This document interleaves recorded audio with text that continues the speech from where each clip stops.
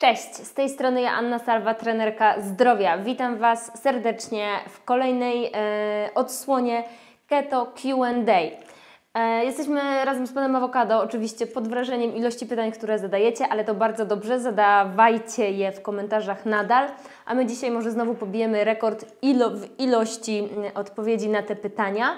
Y, I wprowadzamy taką dodatkową funkcjonalność. Jeżeli interesuje Was jakieś konkretne pytanie i odpowiedź, to w opisie macie wszystkie pytania wypisane i minuty, w których y, ja udzielam na nie odpowiedzi, więc można sobie bezpośrednio przejść do danego tematu. Także zapraszamy.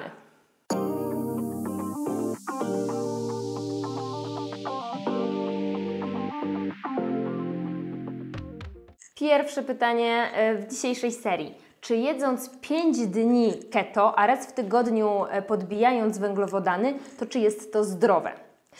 I odpowiedź niestety jak zwykle albo jak zazwyczaj jest to zależy bo to zależy od tego, na jakim etapie jesteśmy. Jeżeli jesteśmy już po poprawnie przeprowadzonej ketoadaptacji, to ja wręcz uważam, że takie podbijanie węglowodanów u większości osób będzie dobre niż trzymanie ich non-stop na bardzo niskim poziomie.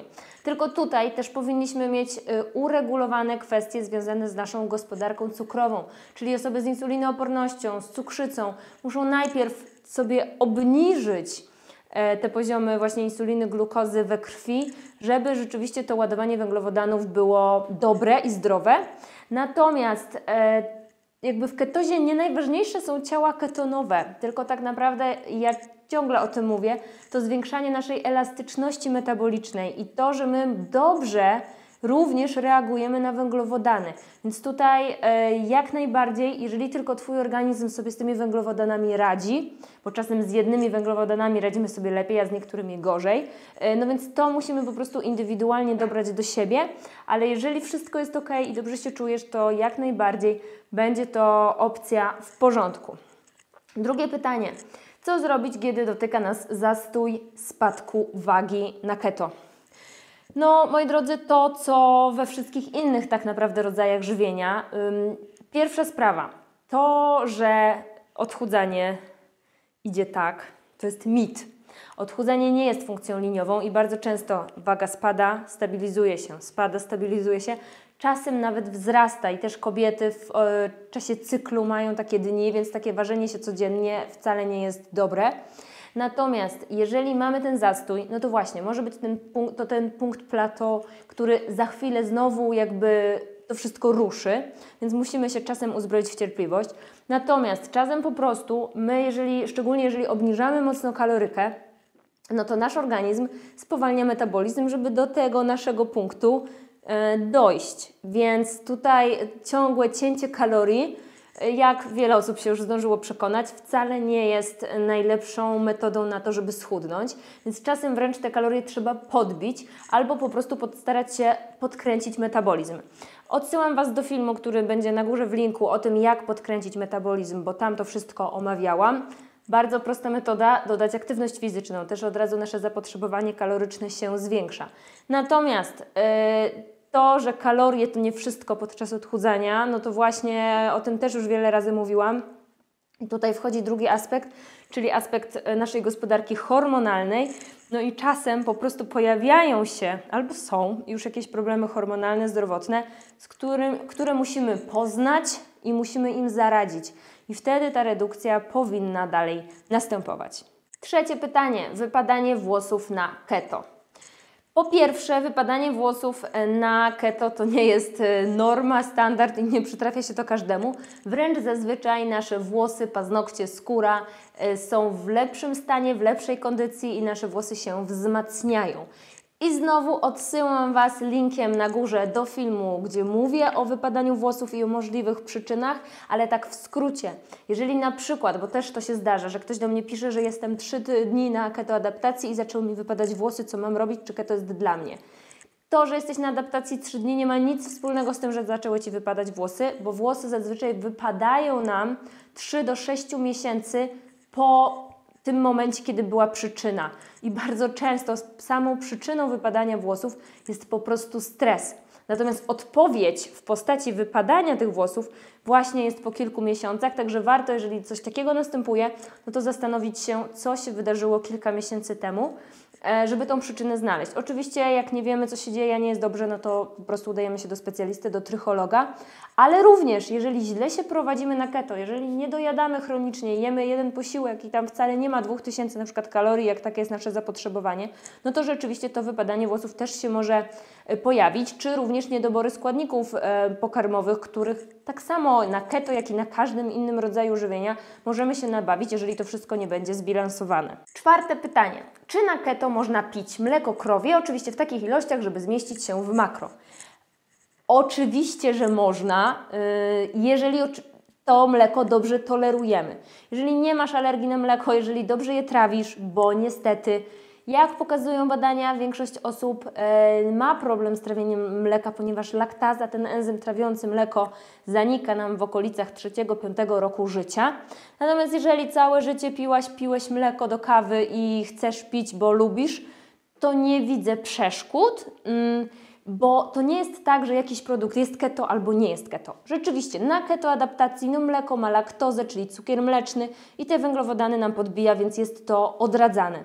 Ale jeżeli to wszystko dobrze zbilansujemy, to tak samo mleko, jak i jabłko można jeść już jeżeli jesteśmy w ketozie, bo te węglowodany wtedy nie są aż tak bardzo ograniczone. No plus robimy oczywiście ładowanie węglowodanów, więc wtedy w ogóle większe ilości mm, tych produktów węglowodanowych możemy spożyć i nawet możemy sięgnąć po ryż, po owoce, a niektórzy jedzą pizzę i po prostu następnego dnia są w keto. Także nie starajcie się, jak, jeżeli już przejdziecie adaptację, nie patrzeć na jedzenie w takich kategoriach to mogę, to nie mogę, tylko, bo to ma dużo, a to mało węgli, tylko bardziej w kategoriach takich, czy to jest zdrowe, czy to mi służy ym, i po prostu w ten sposób podchodzić do tego, co jemy na co dzień, a jeżeli coś jest od święta, tak jak załóżmy ta pizza, czy cokolwiek innego, czy nawet jakieś fast foody, no to pamiętajmy, że też każdy, jesteśmy ludźmi i to nie chodzi o to, żeby przez 100% zawsze po prostu jeść tylko zdrowe rzeczy, bo czasami po prostu no, zjemy pizzę i prawdopodobnie od tego jeszcze nikt nie umarł. Pytanie piąte. Po jakim czasie od adaptacji poprawia się wydolność tlenowa? Chodzi o bieganie. To jest bardzo indywidualna kwestia e, i znowu e, zazwyczaj u sportowców ten progres albo wręcz taki jeszcze lepsze wyniki, no to to jest kwestia kilku miesięcy. To zależy jak szybko wejdziemy w tą ketozę e, i jak nasz organizm na nią zareaguje, bo niektórym te ciała ketonowe idą w górę już w pierwszym tygodniu, a niektórym, niektórzy potrzebują znacznie więcej czasu. Zazwyczaj przyjmuje się, że po około 2-3 miesiącach powinno już być dobrze, ale niektórym to zajmuje pół roku i jeżeli jest niezbyt dobrze, czyli jeżeli jesteś osobą aktywną, uprawiasz sport amatorsko, a już w ogóle jeżeli jesteś sportowcem, no to nie masz aż tyle czasu, e, to ja bym się zastanowiła, czy aby na pewno keto jest dobrą drogą, bo to nie jest jedyne zdrowe e, żywienie. I niektórzy sportowcy nawet biegacze, maratończycy świetnie się czują na keto, ale niektórzy się nie czują na tym dobrze, więc tutaj to też jakby nie patrzmy na to zero-jedynkowo, że tu keto tak, a tu keto na pewno nie, bo to jest indywidualne. No a druga sprawa to można spróbować też e, po prostu około treningowo ładować sobie te węglowodany, żeby po prostu uzupełnić e, glikogen, żeby dostarczyć sobie tego źródła energii i to też powinno poprawić nasze wyniki. I w ogóle, jeżeli właśnie uprawiamy sport będąc na keto, to zdecydowanie tą pulę węglowodanów e, powinniśmy zwiększać. Dobrze, Monika pyta, e, co myślisz o ashwagandzie na keto? Ashwaganda, czyli zioło, czyli adaptogen, tak samo jak i inne adaptogeny, są bardzo fajne i sprawdzają się u wielu osób. Nie u wszystkich i tutaj nie będziemy wchodzić w szczegóły, bo tak naprawdę w zależności od tego na przykład czy mamy jakieś um, konkretne choroby, no to pewne adaptogeny nie będą wtedy wskazane. Jak bierzemy niektóre leki również. Ja też nie jestem zwolenniczką brania e, adaptogenów e, cały czas. Czyli jeżeli na przykład decydujesz się na ashwagandę, to powiesz sobie ją 3 miesiące i zobacz jak Twój organizm zareagował, odstaw ją na jakiś czas. E, na pewno takie ciągłe przyjmowanie jednego e, suplementu, nawet czy właśnie adaptogenu, nie jest dobre. Ważna bardzo jest też jakość tego e, adaptogenu. Ja sama korzystałam z firmy Mothers Protect. Wiem, że też niektóre adaptogeny chyba wprowadza Health Labs i one są naprawdę dobre. Jeżeli kupimy jakąś tanią aszwę w aptece, to prawdopodobnie w ogóle nie poczujemy różnicy i po prostu ten suplement nie zadziała, bo te dawki i sposób jakby ekstrahowania, tak to się chyba mówi, tych ziół też jest bardzo ważny. Natomiast jak najbardziej adaptac- na, nawet na adaptacji czy na keto ashwagandha y, będzie w porządku. Tylko zwróćcie uwagę na to, że możemy ją tak naprawdę brać albo rano, albo wieczorem, w zależności od tego, co chcemy osiągnąć. Jeżeli na przykład chcemy sobie obniżyć poziom glukozy we krwi, bo mamy z tym jeszcze problem, albo poprawić sobie samopoczucie, nastrój, to warto tą ashwagandę wziąć rano. Natomiast jeżeli chcemy lepiej spać i obniżyć sobie na przykład poziomy kortyzolu wieczo wieczorem, no to właśnie bierzemy ją wieczorem, przynajmniej pół godziny przed snem. Więc tutaj też ta ashwaganda ma różne działanie w zależności od tego, kiedy ją bierzemy. Kolejne pytanie e, od Aleksandry. Czy smażenie jest bardzo niezdrowe? Moi drodzy, smażenie y, może nie jest najlepszym rodzajem obróbki termicznej, ale to wszystko zależy od tego, jak to zrobimy i na czym smażymy. Bo jeżeli y, po prostu chcemy na przykład sobie zrobić jajecznicę, nawet na maśle klarowanym, czy nawet na zwykłym i po prostu w niskiej temperaturze powolutku, nie ścinając żółtka na maksa sobie zrobimy tą jajecznicę, to wszystko będzie ok. No ciężko na parze robić jajecznicę według mnie, więc ja też bardzo często sięgam po prostu po patelnię i coś podsmażam. Tylko to chodzi o to, żebyśmy y, po pierwsze nie spalali ty, tego, tych produktów, czyli po prostu nie przesmażali na dziesiątą stronę tego, nie wiem, steka, tylko żeby po prostu, e, no, jeżeli substancja jakaś pod, pod mm, wpływem smażenia już brunatnieje, no to to już nie jest dobry efekt. Jeżeli coś jest spalone, to oczywiście będzie niezdrowe. I tutaj też jest kwestia wolnych rodników i wytwarzania się tłuszczów trans i tak dalej, i tak dalej, i to nie będzie dobre. Natomiast jeżeli sobie coś podsmażasz, na przykład mięso, rybę, czy potem przykrywasz to pokrywką, dusisz, to naprawdę to będzie w porządku i ja nie jestem przeciwniczką smażenia w taki sposób. Ważne też, żebyśmy zwrócili uwagę na czym smażymy. I tutaj są tak naprawdę dwie teorie i chyba o tym w ogóle na czym smażyć, to ja zrobię keto wtorek, ym, tak myślę. Ale chodzi o to, że z jednej strony mamy tłuszcze nasycone, które zazwyczaj mówi się, że właśnie mają stałe wiązania, więc tam podczas yy, wyższej temperatury nic się nie powinno dziać, yy, ale znowu mamy też punkt dymienia. I tutaj na pewno y, jakby tłuszcze nasycone, czyli jakiś olej kokosowy, masło sklarowane, ghee, y, czy smalec, smalec gęsi, to będą dobre wybory, ale na przykład pod kątem punktu dymienia i też innych właściwości całkiem niezłe jest smażenie na przykład na oliwie z oliwek, czy nawet czasem na niektórzy, jakby niektóre badania podają i niektóre źródła, że olej z awokado ma bardzo wysoki punkt dymienia, no tylko że tam jest zazwyczaj podawany olej rafinowany z awokado. Więc no, ja nie polecam ogólnie smażenia na rzepaku ze względów na chociażby zdrowotnych i produkcji tego oleju. Uważam, że są lepsze źródła, ale to właśnie znowu pamiętajmy, że to wszystko zależy od tego, jaka i wysoka jest temperatura smażenia i na pewno podsmażenie czegoś krótkie albo w niskiej temperaturze będzie lepsze niż po prostu wysmażanie tego na dziesiątą stronę na byle czym. I na koniec jeszcze mamy pytanie od Agnieszki, czy keto może być skuteczne przy długoletnim zaniku miesiączki? Wywołanym m.in. ograniczeniem tłuszczy do minimum, czy pogorszy to sprawę, że są sprzeczne informacje. No tak, informacje są sprzeczne i to na wiele tematów. Natomiast przy PCOS na przykład, czyli policystycznych jajnikach, e, ketoza jest wręcz przez bardzo wielu specjalistów e, zalecana i ja uważam, że to jest naprawdę dobra droga. Miałam podopieczne, które nie miały miesiączki i ta miesiączka się pojawiła na keto, zresztą tak jak tutaj Agnieszka, y, piszesz, no właśnie prawdopodobnie ten zanik miesiączki był spowodowany niskimi tłuszczami.